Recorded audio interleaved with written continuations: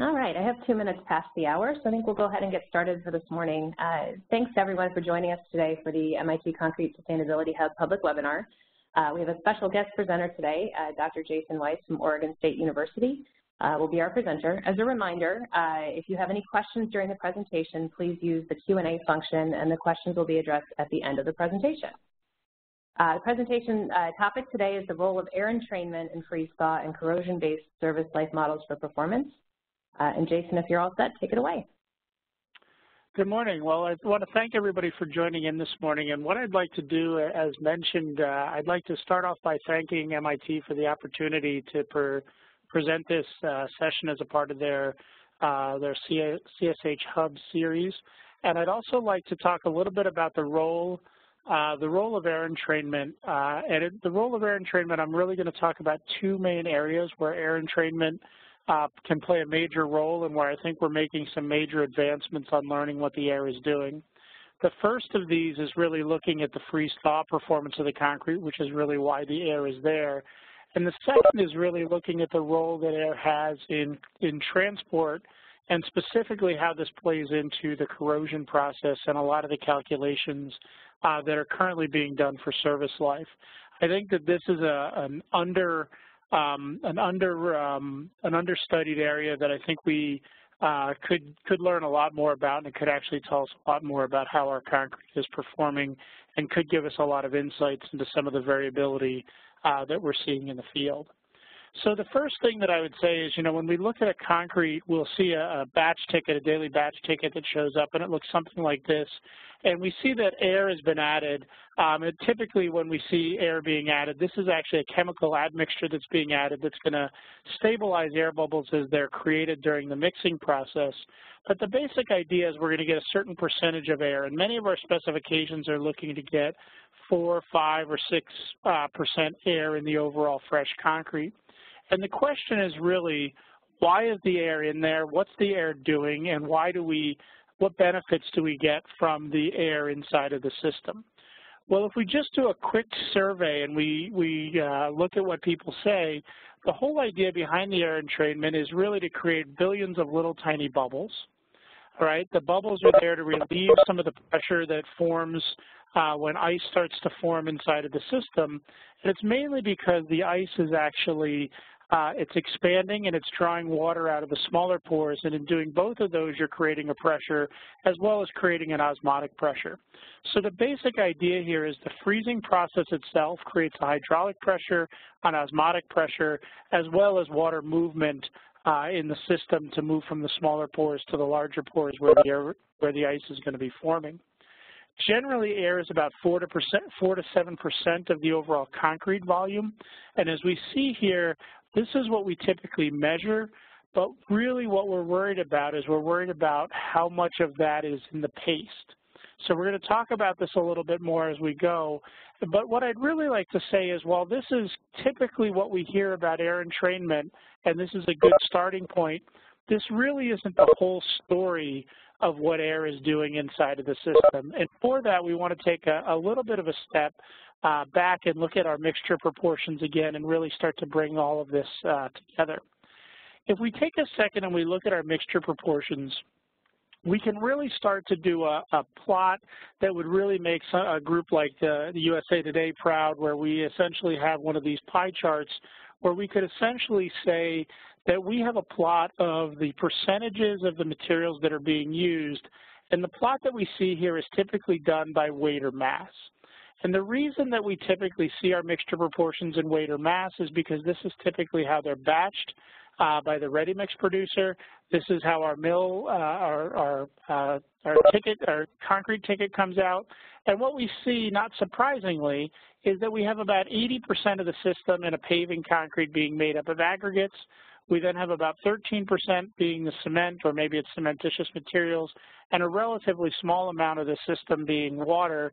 Uh, in this particular case, it's a 6% water system. We'll notice that the air is insignificant when we start to look at, at masses here because, again, it's a chemical admixture, um, and it's going to be very small in the overall system. And while this is very important for proportioning and while, and while this is very important for batching the concrete, what we really notice that's really the key issue is the specific gravities of cement and aggregates are substantially different than water, and in that, in that case, they're substantially different than air.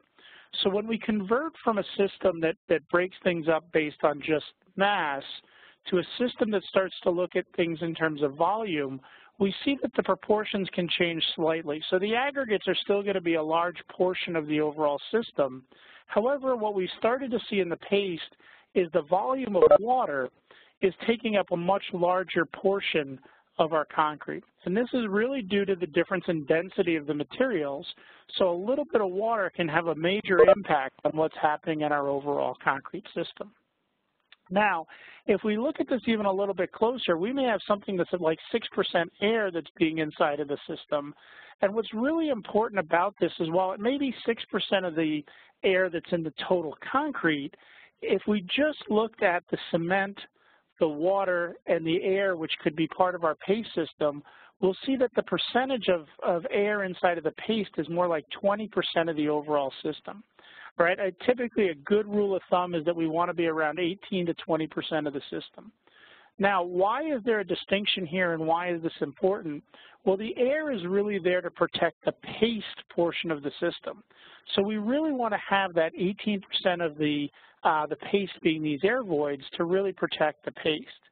So what we'll notice is in mixtures that have a higher paste content, we will typically see that we want to have a slightly higher air content as we can make the mixtures leaner and leaner and we can take paste out of the mixtures, we can typically reduce the overall uh, air content in the concrete volume. Now what I want to do is I want to take a step further and I want to try to make the transition from this unreacted material where we just have a volume of cement and we have a volume of water, and I want to start to look at what happens when that system starts to react. So if we start to look at simulating what happens in the paste as the system reacts, what we can see is that we've started out, right, and we're starting out here not at 0% hydration, 0% would be way back over here, right, and we essentially start out with a particular amount of water in the system, right? So our water is going to be on the top and it's going to be this bluish color. And then we have a certain amount of cement in the system, which are going to be these grays and these darker colors. Now, as the cement starts to react with the water, what we'll notice is these darker colors, the blacks and the grays, right, here, which are really all of our raw components of our cement, these are going to react and they're going to be consumed and they're going to essentially be decreasing as the degree of hydration increases. In addition, we're going to see that the amount of water here, which is shown as the dark blue, that's going to decrease as the system hydrates.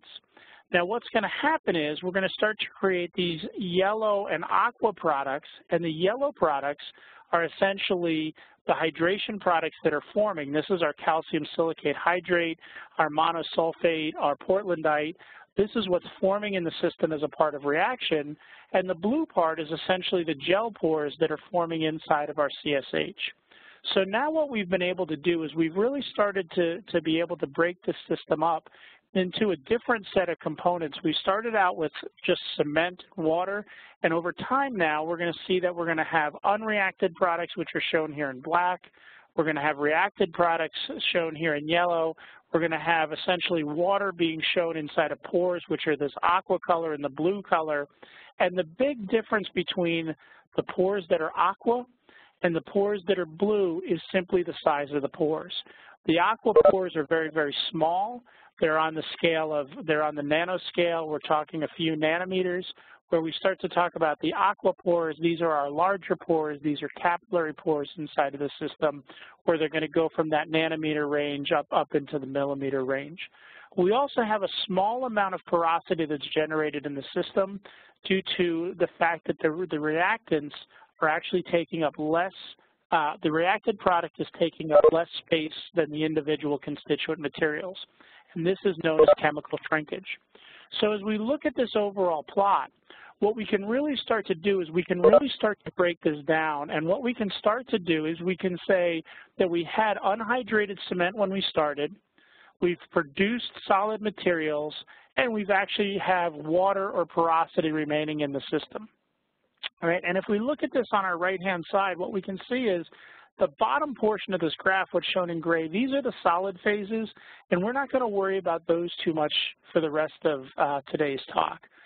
The next portion that we have is really the paste portion, and this paste portion is, is in the paste portion, we're really looking at the porosity that's being generated here. So the gel water, as I mentioned, is the small pores. The capillary water is the large pores. The chemical shrinkage is a little bit larger pore that's developing in the overall system. So we have the solid phase, which is shown here in gray, and we have the pores, which are shown here in this orangish color. But in addition to this, we have the air, which is, again, a porosity that can be considered to be part of the paste phase. And when we start to look at these proportions, what we see is the amount of air that's in this system is relatively large compared to the remaining porosity that's inside of our overall concrete. So while, you know, we mentioned a little bit earlier that the air is going to be about 20% of the paste, and we can see that over here that the air is about 20% of the paste, it makes up a relatively large portion of the pores that are inside of our concrete. If we take this a step further and we think about our pore space a little bit more, right, I want to take a look and start to actually put this into a real uh, concrete mixture that's a slip form paving concrete mixture. It's a 0.42 water to cement ratio. And what we did was we simply measured the, uh, the way that the water leaves the system, which is shown here in this bluish color. And you can actually start to relate the degree of saturation, the relative humidity, and the size of the pores that are being emptied. So the most important part of this as we start to look at this, if we look at the overall pores that we have, we have gel pores, which are our tiny pores. We have capillary pores and, and chemical shrinkage pores. These were the two that we were talking about that are kind of leftover space from water or mixing. We have the entrained air voids, which we see in this system. And the basic idea is we have the largest pores listed on the top and the smallest pores listed on the bottom right? So we go big to small as we go down this chart. Now, one of the fundamental laws of physics is water wants to leave the biggest pores first. So if the system was 100% saturated, we filled up all of the porosity with water, what we would see is that initially the water is going to leave the entrained air voids very, very quickly. It's then going to leave the chemical shrinkage voids, and then by the time we get to maybe 96 or 97% relative humidity, we've emptied out all of the entrained air, we've emptied out all of the chemical shrinkage pores, and we're really starting to work on emptying out the capillary pores. We continue to empty the pores until we get to about 80% uh, Uh, relative humidity, where at that point now we really start to empty out the smallest of these pores, where we're starting to empty out the gel water. The thing that's really, really crucial about this, though, and the thing that's the most crucial as we think about this is the relative proportion of each of these pores that are inside of our concrete. So initially, we've got about a third of the system being gel pores in a well-hydrated paving concrete. We have about a third of the system being capillary porosity, or in that relative range, maybe capillary porosity and chemical shrinkage, and about a third of the overall porosity being entrained air. And the really important next question we have, right, is as we've developed this plot, I said, what if we started out with the pores being filled with water? The real question, though, is are, what are the pores actually filled with? Right, and to draw an analogy, we could say, you know, well, there's lots of different donuts that are out there, but donuts can be filled with different things. Pores can be filled with different things. So if we're looking at the typical paste pores, these would be our gel and our capillary pores, right? These, for most concretes, are starting out being a filled donut. They're not filled with something exciting like chocolate or jelly or a custard. They're being filled with water. So it's water-filled porosity.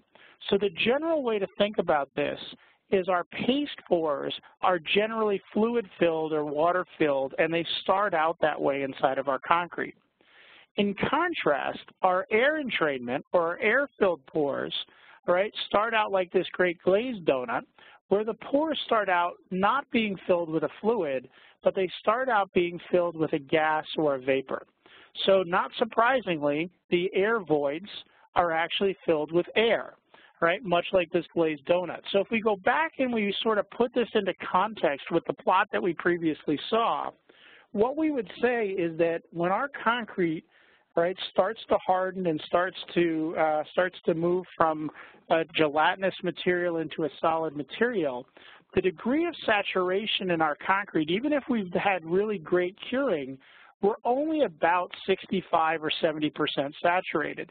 And the reason for this is we essentially have our gel pores and our capillary pores filled. Depending upon whether we've water cured or not, we may fill in these gel pores. But about a third of the overall porosity of our concrete is not filled in with a fluid. It's essentially empty porosity. It's air voids inside of the system. And these air voids being filled with air and not being filled with a fluid are going to be crucial to making our concrete uh, freeze-thaw resistant. So based on this concept, right, there have been several different freeze-thaw models that have been developed over time to start to try to explain how one could predict the service life of concrete in a freeze-thaw environment. And these models started really in the 40s and 50s, but a person who really pioneered a lot of work on this was uh, was Fagerlund, who did a lot of work between the 70s and the, and the 90s, really starting to push forward on this concept of something called a critical saturation model.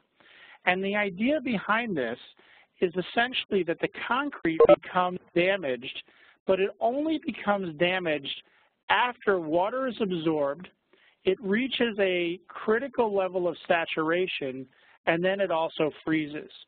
So the basic idea behind this model is that you have to absorb fluid, right, which is our first, uh, our first circle here. So you have to have water that goes into the system. You have to reach a critical level of saturation. It's not 100%, and we'll see what some of these numbers are in a few seconds. And then you have to have freezing. And the idea behind this is if you get all three of these things happening, then all of a sudden now you're going to be able to create freeze-thaw damage. Right? So the basic premise of this concept is we can now start to model this by relating how fast water is absorbed into the system how fast fluids are absorbed, and how fast they reach critical saturation to the service life of these concretes. So as we started to work and started to try to push this, uh, push a little further on this, what we started to do is we started to say, can we really start to define what this critical saturation level is inside of a concrete? A lot of the work that Fagerlund had done showed that the value could be maybe he, he showed some measurements as low as 78 percent. In theory, if we just had hydraulic pressure, this would go up to something like 91%. So the basic idea is there's a critical level of saturation. And if you're below that critical level of saturation, so temporarily let's just draw a line at 85% saturation. If you're below this value, you can freeze your concrete and the stiffness or the elastic modulus doesn't change at all the more you freeze and thaw your concrete as long as you're below that critical level of saturation. However, this theory says that when you're above this critical level of saturation, all of a sudden you start to see a decrease in the stiffness of the concrete. You start to see the concrete breaking down during freezing and thawing cycles. And here you can see some pictures of mortars. Now the important thing is these mortars have only been exposed to five freeze-thaw cycles, and all of a sudden you can start to see these enormous cracks that are forming in the system right? You'll see damage after even the first crack that starts to form. The other thing that's really interesting when you start to look at this model is what we see on what we see are two concretes with two completely different air contents. The red line and the red points represent a concrete with a relatively low air content that would typically be assumed to be not acceptable at all from a specification perspective and the green being a concrete with a relatively high air content. So it's 8% by, uh, by volume of overall content, which would be 31% of the paste being filled with air. And remember we said that the, the, the difference between kind of good quality air systems is about 18% of the paste, right? So we've got one that's below that and one that's above that. But when you look at the overall behavior, what we see is the behavior really falls into a very, very similar envelope here, which says that When you're below the critical level of saturation, there's no damage. When you're above the critical level of saturation, it really doesn't matter if you have good air or bad air or lots of air or little air, but once you're above that critical level of saturation, now all of a sudden your concrete can start to be damaged as soon as it starts freezing. And this, again, is the whole basis for what we're going to talk about. Now, in a lot of the uh, rest of the discussion, I will just simply pick a single number. But what I wanted to just point out is that we can actually track the rate or the speed at which the damage is propagating in concrete to the degree of saturation. So concrete that is more saturated, reaching 100% saturation, has a faster rate of damage, has faster crack propagation, will be damaged more rapidly under a, a fewer number of freeze-thaw cycles than a concrete that might be closer to that critical level of saturation. Uh, and you can see here that there's a general trend that's frequently assumed to be linear between kind of this critical degree of saturation value and then some value that's maximum once you get to 100% saturation. Now, a lot of people will say, well, that's, that's interesting, but what is this critical level of saturation? And as I mentioned before, Fagerlund really showed that about the lowest number they would ever measure was in this 76 to 78% degree of saturation. The highest number based on theory, if you just had hydraulic pressure, is around 91%. And what you see here is all of the data starts to fall into this band really between those two levels, where you're starting to see these blue dots being, you know, here's that 85% that I mentioned that's kind of a good rule of thumb. And if you have a high air content, you're above that value, maybe it's 86 or 87%. When you have a low air content, you start to fall to lower critical levels of saturation. And the question here is, why would the critical level of saturation change? And one of the things that, it, that we know that this is based on is this is based on the spacing of the air voids.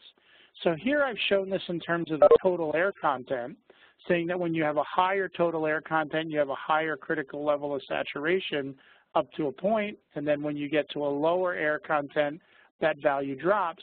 But it's really related to the spacing factor of the air voids.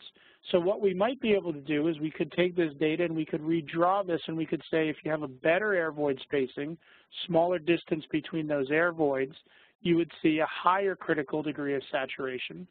And some of the work that's been ongoing right now, especially work at uh, Oklahoma State, for example, has shown that you could use the SAM number, and you could say that the SAM number, which is essentially a measure of the quality of the air void system, that is really related to the critical degree of saturation.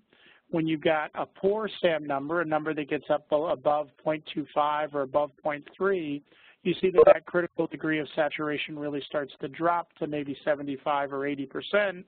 When you have a very good air void spacing, very low SAM number, you see that that goes up to a much higher volume. So for the rest of the discussion, I'm going to essentially say, let's assume that our critical degree of saturation is about 85%. But what we're really recommending for people who are specifying this is that we have some sort of a function that incorporates the concept of air void spacing in, into that function. Whether it's the air content that accounts for this in kind of a semi-direct way, whether it's the SAM number, whether you use uh, a point counting method to get the air void uh, spacing more directly, uh, that would be what we would re be recommending. But let's assume for right now that you have a critical level of saturation at 85%. Well, that takes care of the first portion of this curve and takes care of the, for, the first of these three things that we have to look at. And it really starts to say that if we looked at the water that's being absorbed in the system, right, the mass of the water that's being absorbed is a function of time, anytime we get above this critical level, anytime we get above this certain value, we can expect our concrete to become damaged. So if we're down in this range, our concrete is good and it's going to have a very, very long service life. If we get up into here, we expect that our concrete will have some overall damage into the system. And again, remember we said that we're picking this value to be about 0.85 or 85%, which works for a large number of the concretes that we're actually, uh, we're actually testing. Now the second thing that we have to have is we have to get to a freezing temperature, right? Now, when the concrete can't become damaged if the water doesn't start to freeze inside of the system. And the thing that's really important when we start to, to think about this is it's really important that we remember that all of the fluid inside of the concrete is not necessarily water, so it doesn't necessarily freeze all at zero degrees when you get to zero degrees or 32 degrees Fahrenheit. What happens is you have to actually get to a lower temperature than that, typically somewhere around five or seven degrees, to start seeing a substantial amount of the water freezing, and this is because of undercooling effects. So it takes a little while to nucleate the ice into the system. The water is also not pure water. It's a fluid that contains some electrolytes, which decreases the freezing point a little bit. But even when we do that, by the time we, our concrete gets to about minus 20 degrees, really what we've done is we've frozen the water that's in those biggest pores. We're not freezing the water inside of the gel pores. That's going to take dropping the temperature even more what we are doing is we're freezing any water that's in the biggest pores. If it's in the capillary voids, if it's in the chemical shrinkage, if it's in the air entrain voids, this is really the water that's freezing. So the important thing to remember again is the big voids will, will lose water first, but they're the first voids that freeze because it's easiest for the ice to form in those voids. Now, again, remember back to our discussion a little bit earlier where we really started to say, what is the degree of saturation? And I said, you know, we, let's think about the fact that we're about 70% saturated in our fresh concretes. Well, this depends on our mixture composition. So as we vary the water to cement ratio, not surprisingly, as we increase the amount of water in our concrete, we see that this degree of saturation starts to rise. We have more water in the system, and our initial degree of saturation rises, and we see that all of our curves have a trend here that says as the water to cement ratio goes up, our initial degree of saturation goes up. As we change our air content, as we go from a relatively low air content being 2% to a relatively high air content of being 8%, we see our initial degree of saturation decreases. This isn't surprising because what we're doing is we're increasing the proportion of the air voids inside of the system. So for the system we were looking at before, our 6% air content with a 0.42 water to cement ratio, we're right here around 60 or 65% like we've mentioned before, right? But if we start to see that our air content in our mixture drop, what we see is we drop down or we increase to uh, an initial degree of saturation that's a much higher value. Maybe we move from 60% to 80% saturation as the air content changes from 6% to 2% air in the system. And again, remember that this is crucial because once you get to this 85% value and you hit critical saturation, this is where our concrete is going to start to damage, become damaged. So when we have a good air content and our initial air is low in our system, our initial air content is 6% in our system, our initial degree of saturation is going to be low and our concrete is going to be a long way from being near this critical threshold where freeze-thaw damage can start to form. However, as we start to see the water to cement ratio rise and we start to see our air contents diminish, we get closer and closer to that line. Now, if we start to look at really the, the critical time-dependent portion of this, we see that we're going to have to look at how fast the fluid is absorbed into the pores of our concrete. And I'm going to talk here a little bit about just tracking how that water moves into our system. But I think the thing that's really important to remember is water can be absorbed into concrete very, very quickly if the pores are very small. So here we see a relatively dry concrete. We see it's placed in contact with a water solution. And after only 10 minutes, you can see that this water is moved to a front that's maybe 5 millimeters or a quarter inch inside of our concrete. After about 11 hours, what we can see is this waterfront has moved about 2 inches or 50 millimeters into our concrete. So we see that water moves very, very quickly if we compare this to something like ionic diffusion or other transport mechanisms. This is a really fast measurement. And this is not unlike a paper towel sucking up water. It's the same type of concept. It's the same type of physics. Water wants to be inside of those very small pores, and water is actually drawn into those pores by something called a capillary force, which is relatively high for a small pore. Now, ASTM has test methods that actually examine how quickly water can be absorbed by the concrete, but there's a bit of a challenge with the ASTM test method. The basic idea behind this is you cut a hockey puck of concrete. It's about two inches tall. It's about four inches in diameter. And you condition this specimen so that some of its pores are dried. Now, the interesting part about this is depending upon how you condition this, you're going to change the height of this initial water absorbed curve. And this makes a lot of sense. If you dry your concrete out more, more water is going to be absorbed into your concrete. So as soon as you place your specimen into contact with water, right, remember our concrete is acting like a paper towel or it's acting to absorb that fluid, and what we see is a rapid mass change in our sample. After only a few days, in this case it happens to be about two days, uh, one and a half or two days, we see that there's a massive change in the rate at which water is going into the system. Right? I will get to that in a, in a second, but the second thing that I want to show here is, again, remember we had our concrete with a good air system and we had our bad air system, right? We said that we had low air with this red, uh, red data, and we had a relatively high air content shown here with our green data. If we just look at the mass of the water that's being absorbed, there is very different, little difference between these two mixtures there's very little difference in terms of the amount of water that's being absorbed into the system. However, that is not the full or complete story. If we look at our concretes, and this is the exact same data that I was just showing, instead of looking at mass, which we've shown over here, if we look at how saturated our pores are, the degree of saturation, we get a very different picture starting to emerge we see that while the mass, the rate of mass gain was very similar, they're getting to very different levels of saturation.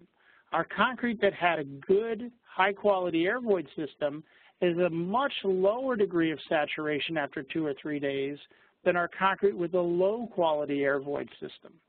And remember, our key issue here is how long does it take to get to about 85% saturation? So what you'll see here is this red line with our poor quality air void system, it's going to get to 85 or 88% after a relatively short period of time. This is on the order of days or weeks, right? However, our concrete that's got a much higher air content is going to take a much longer time, and we're going to have to go way off the screen until it reaches 85%, and this is going to take several years. So the real benefit of the air voids in the system is that they're decreasing the initial degree of saturation of our concrete. And by decreasing the initial degree of saturation, they're going to give us a much longer time for that water to be absorbed. So let's take a second and see why that's really the case. Well, what, as I mentioned before, we have this case where we're tracking the water that's going into the system, but let's really look at where that water is going. So if we see this picture on, on the top, we have really three different size pores being illustrated. We have really, really tiny pores, which are our gel pores, which are inside that area that I just circled. We have capillary voids, which are shown here as the, this, this particular pore that I just drew a box around. And we have these great big fat fellows up here. These are these uh, air voids uh, that we have in the system. So the big ones are the air voids. The little tiny ones that are too small to see are the gel voids, and then we've got the capillary voids shown here. If we introduce water from the left-hand side of the screen, what we'll notice is initially we see that water going in very rapidly, and this corresponds to exactly what we saw in the degree of saturation curves. As we move from image one to image two, we see that the mass of our sample is going to go up dramatically. We're going to see an increase in the degree of saturation.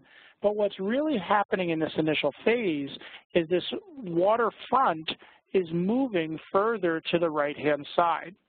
Now the interesting thing is once we hit this point where this curve is going to change pretty dramatically, what's happened is the waterfront has really reached the other side of the sample. So this change in behavior is really more geometry dependent than it is a true material uh, type of interpretation. But what's happening is when we're on this initial slope, we're filling in the gel and the capillary voids. We're filling in the voids that are left over from the water to cement ratio of the system, that extra water that was in the system. As we start to see that kink in the curve, you'll hear people refer to this as the Nick point or matrix saturation. What's really happening here is we're changing from filling in the gel and the capillary pores, which is what we saw in the blue portion of this curve, to now we're starting to fill in the air voids. And when we start to fill in the air voids, we're on a very, very different time scale. So one thing that I didn't mention is I didn't mention that this axis is the square root of time, but this is all happening very fast when we're filling in the gel and capillary pores. And once we start to fill in the air voids, we're starting to talk about a process that's going to take months and years for this to happen. So there's a lot, uh, a lot of discussion going on on how do we measure this rate of water absorption very quickly. And as I mentioned, ASTM has a procedure where we can essentially condition concretes, we can place them into fluid, we can measure the mass. That really needs to be corrected to account for the degree of saturation. But we believe there's actually a faster way that you can go about doing this measurement that could actually be brought into everyday, um, everyday quality control. And the idea here is to use something called the formation factor. And the formation factor is measured from electrical resistivity. It's measured on your concrete in a matter of about 30 seconds. You hold a probe on the side of the sample, you get a resistivity, and then if you calculate for the, the conductivity of the pore solution, you can convert that over to something called the formation factor. I'm going to discuss this in a, in a couple seconds as it relates to chloride transport, which is where a lot of people have been using it, but it really relates to any transport property. What we can do, though, is we can relate the mass of the water that's being absorbed to the formation factor, and we can develop an equation based on first principles. This is simply the mass that's being absorbed in the sample. It's related to the square root of time as we saw in the previous plot. There's a bunch of stuff in the front part of this equation, and this stuff accounts for the geometry of the sample, the density of the water, the radius of the sample, the capillary pressure, which is the size of the pores, and really the viscosity of the fluid. The critical issue here, though, is this rate of mass absorption is related to the inverse of the square root of the formation factor. So what we've shown is from first principles, we can actually relate the mass to the formation factor, and the formation factor is a much faster test that could be used uh, in daily quality control. If we relate, for example, the rate of sorption to 1 over the square root of formation factor for concretes with four different water to cement ratios going from a 0.3 to a 0.6, what we see here is a very, very linear relationship. So what we can actually do now is we can say we can relate the absorption or the sorptivity of our concrete to how the sample was conditioned. This blue line is an oven-dried sample. The red line is a sample at 50% relative humidity. We can relate this to the way the sample is conditioned, but we can also relate this to the formation factor, which has great, great power. So the idea behind this is we can now start to put this together into a model. And the basic idea is we can essentially say we have water that's being absorbed in the big pores, these gel pores and these capillary pores, it's going to be absorbed into those pores so fast that we get to the nick point in just a day or two. And what we're going to essentially say is that happens so fast we don't even need to worry about that in our model. We're going to be able to calculate the nick point simply off of mixture proportions. So I showed this plot a little earlier, which was water to cement ratio versus the initial degree of saturation. And this is a calculation that's done simply based on the mixture proportions the degree of hydration and the density of the different materials. And just to show a little bit of how this, uh, this theoretical calculation corresponds to experiments, what we see here is a series of green line, a series of data going from a concrete with an air content of 2% to an air content of around 6 or 6.5%. And what we see here is the theory matches uh, very, very well with the experimental data. So this would tell us that we can know our initial degree of saturation very quickly if we simply know our initial mixture design and what the air content was that we measured in our overall system. Right, what we really want to do now is we want to calculate the time that it takes to reach a critical level of saturation. And once we reach this critical value, that's really where our concrete is going to start to show signs of freeze-thaw damage. Now, we can actually go through and we can do this and we can write an equation that turns out to be a relatively simple equation that says the time of our that our concrete is going to be uh, enduring is this critical level of saturation minus the saturation at the nick point divided by the rate at which the water is being absorbed, and that whole thing is squared. So all of a sudden now we can start to see some of the key levers that are happening in our concrete. If we started out with our typical mixture design here shown in gray, again, we're not worried too much about what's happening in the first two or three days of our concrete where the water is being absorbed into the gel and capillary pores, but we see we go from our matrix saturation up to this critical level of saturation, and maybe we have a time of or service life of our concrete that's 15 years.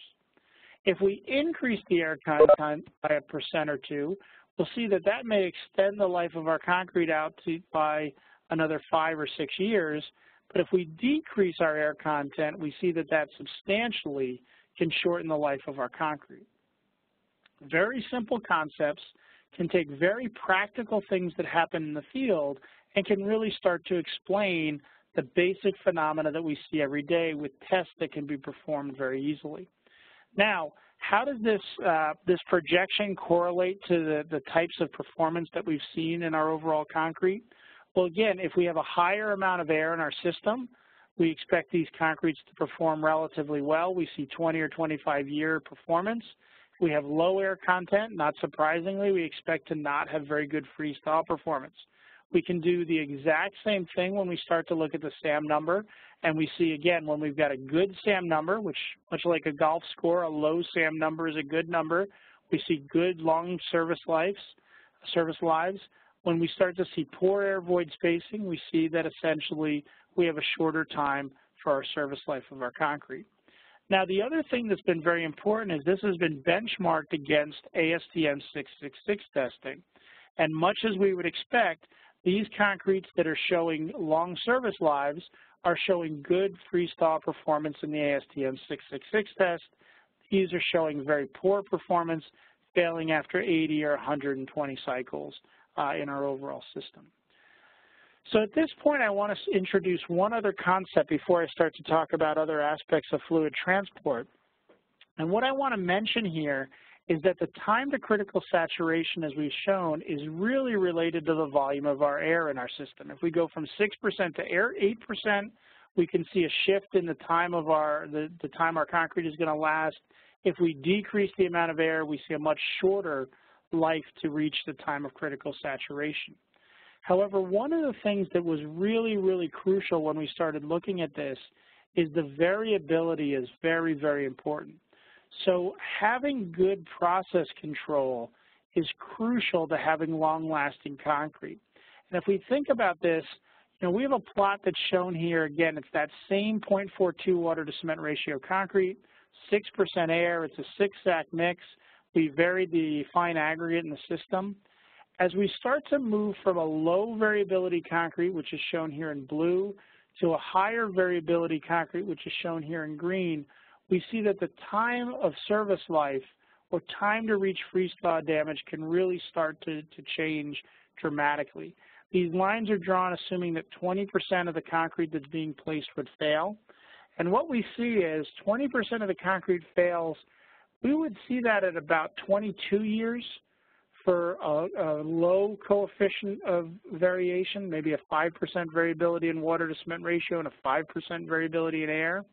However, if we start to see the air being more varied, maybe moving instead of moving from 5.5 to 6.5% like our typical specification shown in blue to maybe moving from 3 to 9% where we really don't have good control of our air, what we're seeing here is we're moving from a service life of maybe 20 or 22 years down to a service life that may be something that's more like 13 years. So we're taking about a third of the life out of the concrete simply due to that variation that's happening in the overall system. Now, I want to take the last few minutes of this seminar and I want to talk a little bit about one other concept that I think has been neglected uh, pretty substantially as we discuss transport and corrosion. I believe that this is a crucial factor, and I think that this will explain why we see a lot of variability in a lot of our time to corrosion predictions. I think there's a huge benefit for industry if we can examine this and understand this a little bit more closely. But I think one of the things, and, I, and this is why I think that we're not seeing this benefit, air has a substantial benefit on the service life from a chloride transport perspective that we are really not considering. So the basic idea here is we may have a bridge deck that's being built. We're going to place salts on top of this, and then we're going to try to measure the time it takes for those chlorides to start working their way through that bridge deck. Well, again, remember, a lot of times when we're running our transport tests, the, the standardized testing is telling us to vacuum saturate our concrete. When we vacuum saturate our concrete, we're filling in not only the gel pores and the capillary pores, but we're filling in the air voids as well. And this is not a state that we typically see in practice. In practice, we're frequently seeing that those air voids are not anywhere near being completely filled. So what this means is when we run our standard tests, for example, the rapid chloride penetrability test, or when we run some of our other tests, we're seeing that we're testing a concrete that is much more saturated than we would have in practice. Now, the argument is frequently, well, it's easy to get there and everybody can get to the same condition. That's fine, but let's look at what happens when we actually look at the impact of that on some of the measured properties. So I mentioned this idea that we could get the formation factor, which is a measure of the pore structure of our concrete. It's one of the most fundamental measurements that we have. It's simply going to be the resistivity divided by the, the resistivity of the concrete shown on the top divided by the resistivity of the solution that's in the pores shown on the bottom.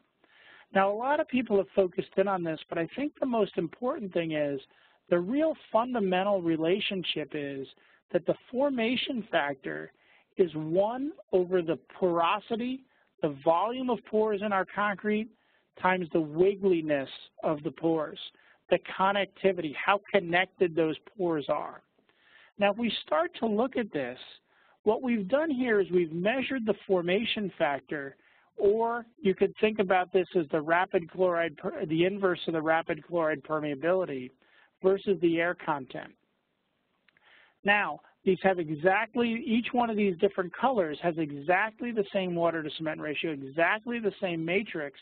And what you see is as the air content increases, we'll see that the RCPT or the formation factor can change by as much as about a third of the overall value.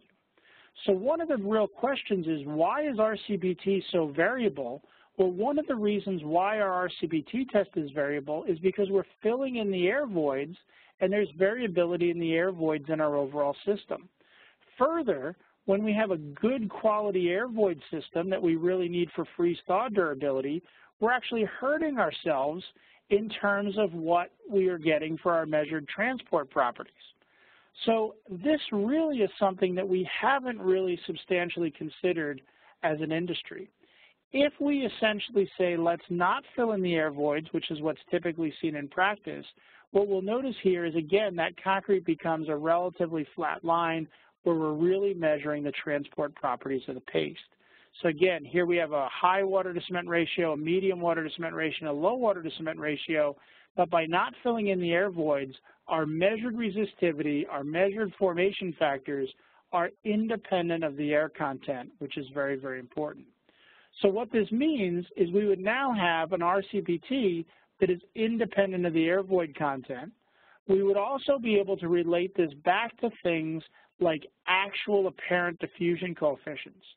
So one of the things that we've really been working on of late is we've said, you know, we can actually use this very fast measure of the formation factor, and we can use computational modeling to predict the time at which our chlorides are getting into our concrete. So what we've actually done is we've coupled the formation factor with some simple binding, and what we can see now is a very fast measurement that can be done every day in terms of quality control can be used to predict chloride ingress, right? And this is much, much faster, and I would argue that it's almost as accurate as ASTM 1556 and is on stronger fundamental footing than 1556 in predicting the overall data that we see in terms of chloride ingress.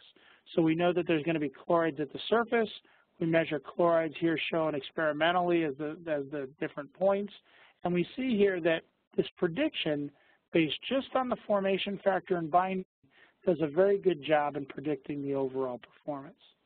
So in conclusion, I think really what we've seen is that the air is very important for our concrete, but what it's really important is it changes the level of saturation. And if we start to move towards this critical degree of saturation model, understanding air and understanding how fluid is transported and filled those air voids is really the key issue to the overall system. The second point I want to make is while air void spacing is important and you want to have really well-distributed air voids, the critical issue to ask from, from a first point is really what's the volume that you started with. The third point I want to say here is that the air, while we measured in terms of the volume of our overall concrete, it's really best if we start relating that to the volume of the paste that's inside of the system. So if you have a system that's got lots of paste, you need to have a higher air content than a system that's going to be leaner and meaner and maybe a more green or sustainable concrete. You can get away with a lower air content in the overall system. Pore filling is really the key issue. The small pores fill in first, and as those air voids start to fill in, that can really be problematic from freeze thaw, but it also plays an impact on our transport properties. So we can see that when you fill in your air voids, you're going to decrease the formation factor by about a third, or you're going to see about 30% um, higher RCPT values. And this really starts to say we can start to learn a lot more about our materials if we start understanding how those samples are conditioned. And really, the air content is really helping to extend the time of corrosion, and we think that this can explain a lot of the variability that people are seeing in simple tests like the, the overall air content. And with that, I am happy to uh, take questions if we have time and or hear uh, other suggestions as we start to start to move this forward. So again, thank you very much, and I'm happy to take questions. Jason, thank you very much. We do have a few questions coming in. Just a reminder, folks, if you do have a question, uh, the Q&A function on your screen, if you just type it in there, um, I will read them off. So we do have one question, Jason. I'll, I'll go ahead and read it. What level of saturation uh, is being achieved in the C666 test?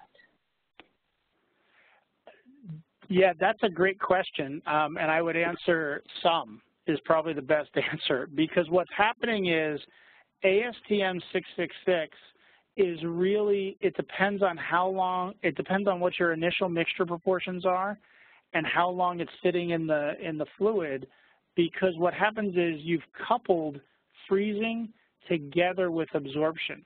So what we're trying to do in, in the models, we're saying those are two separate functions. You have water going into the system, and then you have freezing taking place. And in 666, if you take a sample that's been sealed and you throw it in, you start at that 65 or 66 percent, and that builds over time as water gets absorbed into the system and there's some impacts of thermal cycling but it really varies depending upon the air content and how long that sample has been, uh, been conditioning. Thank you. Next question, could you comment on the effect of different curing regimes on these aspects? Sure. So um, like anything else, the more you can cure your concrete, the better, because as you cure your concrete longer, what's going to happen is you're going to reduce that capillary porosity and you're going to increase the gel porosity. And you may say, well, why, why is that really beneficial? By increasing the gel porosity, you're increasing the small pores. And remember, those pores don't freeze until you get to maybe minus 30 or 40 degrees Celsius, which, which most of us aren't going to see. So you're, you're getting really two or three benefits by improving the length of curing. You're reducing your capillary porosity, and this is going to reduce the amount of freezable water. You're also going to reduce how easily that water is transported into the system. So you're going to really extend out that um, the slope of that line. So by curing your concrete, uh, which we all know and we all want to do, we're going to get improved performance in our systems. Great, thank you. The next question is, are we only considering continued exposure to fluid and saturation? Have you thought about uh, absorption and desorption modeling? Yeah, so uh, the absorption desorption has been considered, um, and what I would say is this is a uh, really active area of work. There's a way that you can bring that into the model. There's actually a factor that would account for the, you know, if you have more drying in a location than other places. Um, you can do both the absorption and desorption modeling. It just becomes much more computationally uh, and accounting intensive compared to the simple model that I showed that, that's a one-line type calculation. Great, thank you. What effect would use of a crystalline waterproofing admixture have on freeze thaw? So that, that's actually a really interesting question, you know, and, I think this is actually um, one of the biggest uh, aspects that this type of approach really starts to open up you know, if you, if you look at kind of classical um, concrete specifications that are freeze-thaw, they basically boil down to, you know, thou shalt have a water to cement ratio and thou shalt have a particular air content. If we start to say um, you could put a waterproofing admixture or crystalline admixture or magic dust that doesn't allow your concrete to absorb water, you have really changed this equation in a very meaningful way. And all of a sudden now, you may be getting freeze-thaw resistance and reducing your degree of saturation in a very, very different way. Your concrete can't be damaged if it doesn't absorb water. So if you had a perfect admixture that didn't allow your concrete to absorb water, you would never have a freeze-thaw problem. Right? You would always be below that critical level of saturation and your concrete would be completely fine. So, you know, I think what this is going to be doing is I think this type of approach opens up lots of other opportunities to, to do something to make our concrete freeze-thaw resistant rather than just say, thou shalt have air content. Great, thank you. Uh, those were our questions today. We do have time for one more if anyone uh, wants to type one in. I'll give that just a, a few seconds. Okay, seeing nothing come in. Jason, thank you very much for the presentation today, and thanks everyone for joining us. I uh, hope you'll join us again on a future webinar. Again, thank you all for tuning in, and many thanks to MIT for hosting this. Thank you, Anne.